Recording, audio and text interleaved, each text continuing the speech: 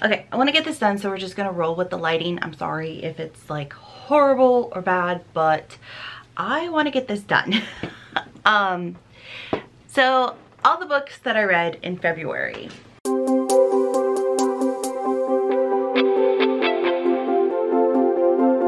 I read nine books in February. I DNF'd one. And in total, I read 3,242 pages. I'm to go in order of how I read them. And I'm to tell you what prompt they fulfilled for my TBR legacy, if they fulfilled the prompt, and my thoughts and star rating on everything. So the first book that I read and finished in February was Hooked by Emily McIntire. I don't want to say too much about this because I will be having a full review on this coming next week. It got a four star from me. There was something that was a little problematic in this book for me personally. But other than that, I really liked this one. Didn't like it quite as much as Scarred by Emily McIntire, which is the second one in this series. They are a series of standalones. There's no intertwining between any of the characters, any of the books, nothing. They're all complete standalones. So if you want to read any of these, I would highly recommend you just pick whatever one you want and read them. I will be continuing on in this series.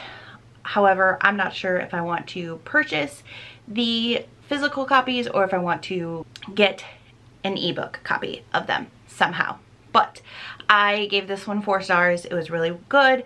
This one was on my February TBR legacy for the next one in a series. So that's great for me that I'm continuously ticking these off of my series. The next book that I finished was actually a reread and this was Jacques by Sara Ney and again it was five stars. I absolutely love this book. I got it as an interlibrary loan. I am rereading some of my favorite five-star books to see if they are still five stars. Look out for that video coming in like a month or two. But I Again, this one's five stars. There's not much I can tell you about it. It's the first in a series. We follow Scarlett and Rowdy Wade and they meet at a baseball party and on Jock Row and she is kicked out of this party and they have this little connection. And the one thing that I love about Sarah and I and it was so true rereading this one is that it's very natural her progressions in the story. There's you know that little twinge of I like this person I want to see where this goes and there's also just it's very smooth and fluid and there's no third act conflict in this one, which I absolutely loved. This one was not on my TBR for the month. This one just came in as an interlibrary loan and I'm really glad that I read it. Next we have an audiobook and this one is The Only One Left by Riley Sager. My hold came through from my library and I decided to listen to this one, which actually was really great. I enjoyed this one immensely. I gave this one four stars. Um, not sure why it really didn't get five stars. It could be possibly that I did kind of put something together. I figured it out, but I did figure out something about halfway through Although it was a really good mystery thriller, I am kind of going into that era, I guess you could say. This year I have just been feeling that type of mood and really enjoying the books that I have been picking up so far in this mystery thriller horror genre that I have been kind of slowly getting into. But in this one, it is a thriller. We follow Kit and Lenora. Kit is a live-in home health aide. She comes in, she takes care of people who are like a little too sick or like on their deathbed and family just wants them to be at home. So she takes care of these people. She has been put on probation for something that happened about six months ago and she is given this job that nobody else wants. And this is to take care of Lenora Hope, who supposedly killed her sister and her two parents for some reason. and we find this out through Kit's story, through Lenora's story, and Lenora can actually communicate somewhat even though she's had several strokes. Like I said, I really like this one. This one definitely had very a lot of atmosphere. Uh, this one is set in Maine on the ocean side and you can very heavily feel that atmosphere that Riley Sager gives you in this book. The house definitely has its own atmosphere, its own entity, not in like a scary way, but it's definitely present in this book that the house is just it's there and everybody is you're suspicious of everybody obviously this is a mystery book and I really like this one. The hype is definitely real for this one. If you want to check this one out, if you've liked a couple of other Riley Sager books, I would highly suggest it. Um, I know he's a very hit or miss author with people, but I truly enjoyed this one. This is, I think it's only like my second Riley Sager that I've ever listened to. This one and Home Before Dark are the ones that I've listened to. I really enjoyed them. If you want to check out the audiobook, I would highly recommend that. That's how I consumed it. Although I wouldn't be opposed to possibly picking up, like physically reading these now. So, because they're not really that scary. It's not like a thriller. It's more of a mystery that I'm into. So we're gonna go with the mystery on this one that I really like. In February, I really, I know it's the, the month of love, but I just, I could not get behind all the romance that was on my TBR and I just, I couldn't, I could not. I needed to break and it, I'm hoping to kind of keep up this momentum of, you know, sprinkling in the random like mystery thriller along with, you know, more fantasy. February did not have any fantasy at all. It definitely needs some more fantasy in my life and I'm getting that right now. Because it's sitting right here, we're going to talk about the book that I DNF'd. This is A Lot Like Love by Julie James. I got about 50 pages into this one and I absolutely hated the male character, the lead male character. I hated him. He was just a jerk and he wasn't a jerk like Hook is a jerk. Jer Hook is just a jerk because it's Hook. And like I said, he's just a jerk for me for no reason. It's not even like he's a jerk because he's from the mafia or he's this morally gray character that you know going into the book that he's morally gray. In this one, he's just flat out a jerk. And I was just like, I don't care. I don't want to listen. I was listening to it. I'm like, I don't want to listen for however many more hours to this guy being a jerk and he's supposed to be the love interest in this. There was no redeeming quality for that. So I DNF'd that one. And so since I needed a little pick-me-up and I was kind of still in the romance mood, this was on my TBR for owned TBR. And I had just recently picked up an offer from a gentleman, which is book three in the Bridgerton series by Julia Quinn. So I decided to pick up this one. I loved Anthony's story. And I am super excited for Colin's story coming up and I know I said when I did my series video that I would not be continuing on in this series until I got the Netflix tie-in covers, but I just couldn't wait. I needed something that I knew that I would love, and so that is why I picked up this book. I knew that I would love it, and I wanted to read this one before I moved on to the fourth one, which is Colin and Penelope's story. So this one, we follow Benedict. Benedict is the second oldest son in the Bridgerton family, and he is only known as that. He's number two or a Bridgerton. Nobody knows his name and he is extremely frustrated by this.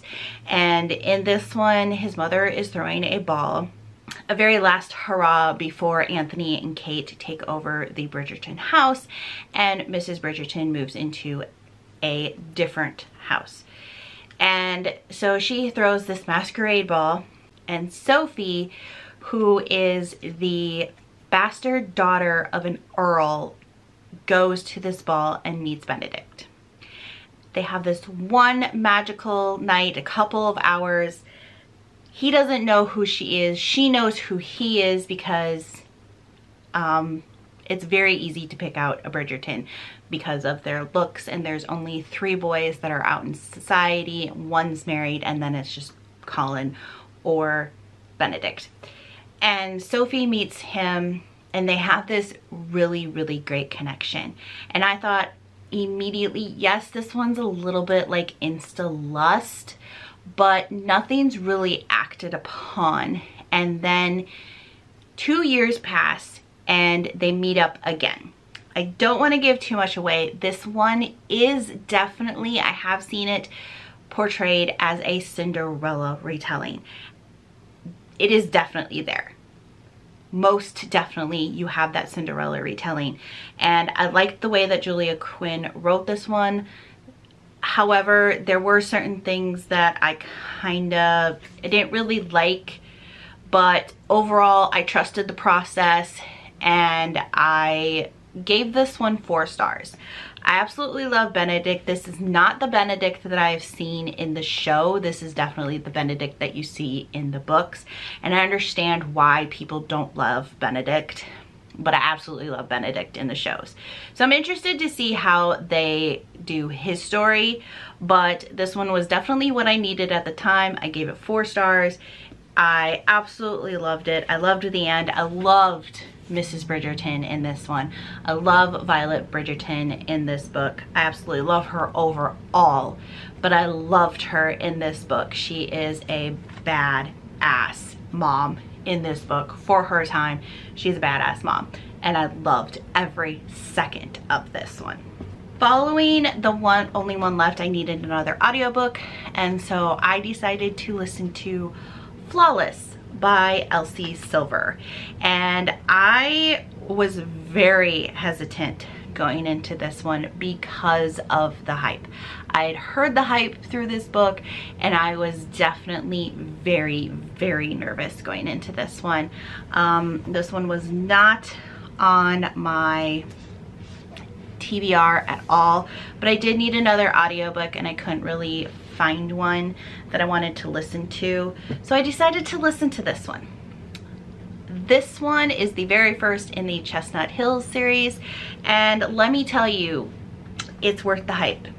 We follow Rhett in summer. Rhett is a professional bull rider and he is makes a very questionable choice with some of his words and actions in the very beginning of this book and he is basically given a babysitter through his agent who is Summer's dad and that babysitter is Summer. Summer is not happy about this, Rhett is not happy about this, but Summer's dad is like, this is what's gonna happen.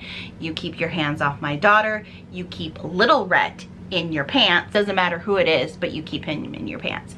And things progress. You know that things are gonna progress because obviously it's a love story. I absolutely loved this one.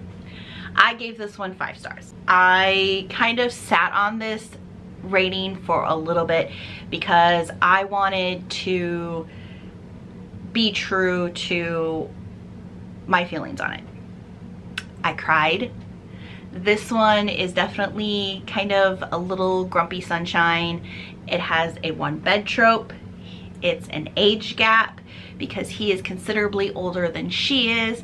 It also has like that very much pining for your celebrity crush. Summer knew who Rhett was when she was younger, like teenager, and she definitely had a crush on Rhett when she was younger. I love the relationship. Like I said, I cried. I love the family dynamics that we get in this one. When people talk about the Eatons and the family dynamic in this series, if you love a family dynamic, if you love those snarky brothers, um, cousins that are always hanging around, this or friends of the family that are like family, you will love this one. This one is definitely wholesome. It's got the steam. I definitely thought it was going to be a little bit more steamier, but compared to the next two books that I'm going to talk about that were romance or classified as romance, this one definitely had some steam compared to those two books. And I'm a little bitter about it. I will be continuing on in this series and I cannot wait to read the second book, which is about a single dad. Really looking forward to that one. So while I was in Mississippi, I finished this book and I didn't want to read any of the romance that I had brought with me. So I decided to go on my library and I decided to check out a book that was just available to me. And the one that I decided to choose and read was is What Lies in the Woods by Kate Alice Marshall. This came out last year. This is another thriller mystery book and I loved it. This, I believe, is Kate Alice Marshall's first adult mystery thriller. I know she has a lot of teen mystery thrillers that people have really, really liked, but I believe this was her first adult mystery thriller. So what happens in this one is we follow Naomi, who was tragically injured when she was 11 and her and her two other friends were in the woods. Naomi comes, is the only one that is tragically injured. She is stabbed several times and her friends go to get help. In the end, they end up finding the person that they believe was the culprit of this crime and they put him away because he is supposedly known for other murders around the area and he is put away. Well, at his untimely passing in jail, Naomi and her two other friends are kind of thrust back together because one of those friends is Olivia, who is very mentally ill and unstable. And so they all come back together and they try to help Olivia and things just kind of progress from there. I know that this one is kind of based off of a true crime. I'm not sure which one that is. I'm gonna try to find out so I can read that one now that I've read this one. I did pick up on one of the twists, which, you know, is what it is.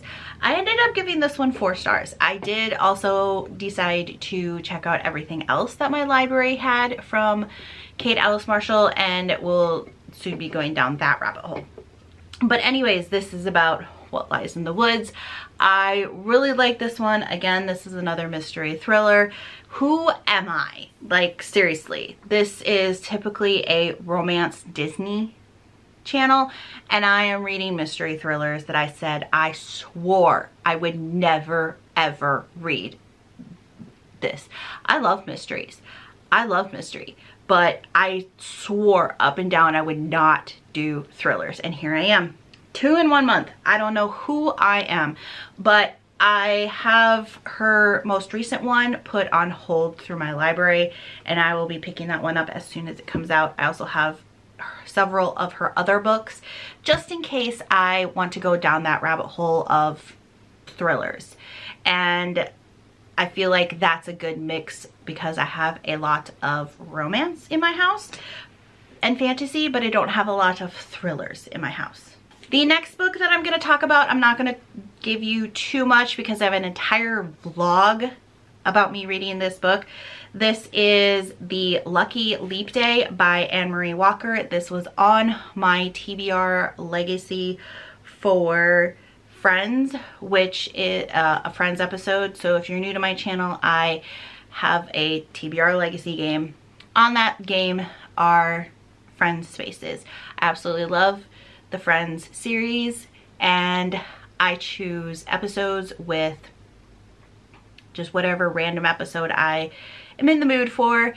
Typically from one season currently i'm on season two and for this one i chose i think it's the one where joey moves out and he goes and gets his own apartment. So this one is kind of like that. We have Kara and we have Finn and Finn moves in with Kara for certain reasons. Now, for steam level, if you're thinking about books and you're doing like the movie ratings, I would say this one is definitely closer like R, PG-13, PG-13 in the 80s.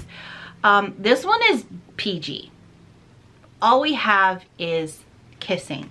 And this one is classified as a romance. For all the research that this author did on, you know, Leap Day in Ireland, Irish history, she really dropped the ball on the romance. Like she could have thrown in like one or two steamy scenes and I would have given this like four stars and I would have been raving about it. But it was, it was three stars. I, there's nothing fantastic about it. There's nothing bad about it. I liked it. But overall, I just, I didn't jive with any of it and I will not be picking up anything else from this author, unfortunately. But if you want to hear my more thoughts on this one, you can go check out my vlog where I read this one on Leap Day and I also watch Leap Year in that vlog. And finally, for the last book that I just finished in March, but it was on my February TBR, and that is The Stand-In. This is the book that I picked, pulled from my challenge cup, and this also went in for my event, which was a standalone, and this is a standalone. Now, while I was reading this, I was super excited about this one. If you saw my TBR, I was extremely excited for this one. But it took me all month to get to this one because I didn't want to read it in the mindset of I don't want to read a romance. And I put this one off so long because I was like, I don't want to read this one when I'm not in a good headspace. And I finally picked it up after I read this one because I was like, or actually I I picked it up after I finished What Lies in the Woods because I'm like, okay, I got my little thriller moment in. I can pick up something else. So I picked this one up.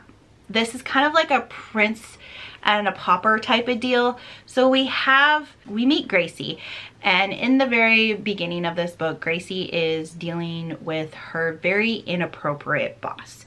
And she goes she's taking a sick day and she's trying to figure out what she's going to do with this boss. And so she goes to this coffee shop and in this coffee shop, she gets mistaken for a celebrity who is um, Wei Fang Li. And Fang Li is a very popular Chinese actress. Paparazzi takes a picture of her and she gets mistaken for Fang Li. And then Fang Li finds her and they kind of go through the motions of asking Gracie to kind of be her body double because currently Fang Li is in a production of a play and she's very, very burnt out. And she just wants Gracie to be there for events that are outside of the production. So going out and being seen in public, going out to dinners or any other events that are at night that don't necessarily have any involvement with somebody that knows Fang Li well. And she gets paid in an exorbitant amount of money. The only problem is Sam, who is Fang Li's like other half, but they're not together.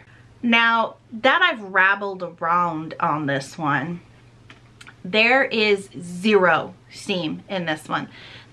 Where this one is PG, this one is PG-13, and we get kissing and we get a fade to black. However, the reason that I gave this one five stars is because it gave me the feels between Gracie and Sam, it was a very slow burn. It was like an enemy, like they hated each other. They got off on the wrong foot.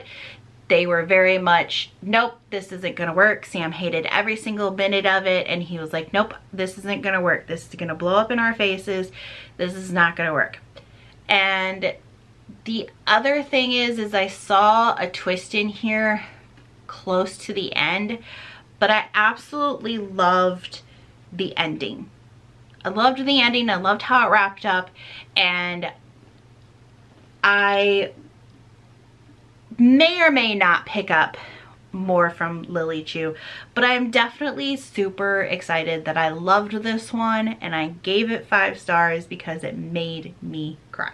I teared up. I completed my February TBR. Now, the only one that I did not read or actually I did just DNF it, was my audiobook or ebook and that was The Doctor. This was also my bestie pick and I just DNF'd this one last night. I gave it 20% and I just could not get past the ick factor for me. And that ick factor is one night stands where nobody knows anybody's name. I'm sorry, I'm a little old fashioned. Number two is your ex-husband's brother. I just, no. Not for me. But I DNF'd that one. That's what I read in February. I don't know why this one's on here. That one could just go away. So, not too shabby, if I do say so for myself. So for me, that's a really great reading month. I could not be upset about that. But I'm gonna wrap this one up and if you've read any of these, please let me know. And if you want to check out any of my other videos, they're linked around. And I will see you in the next one. I'm sorry that was super awkward. But you know what? I'm in a very awkward mood today. Maybe it's the red hair. New month, new hair. We're, we're gonna roll with it. But that's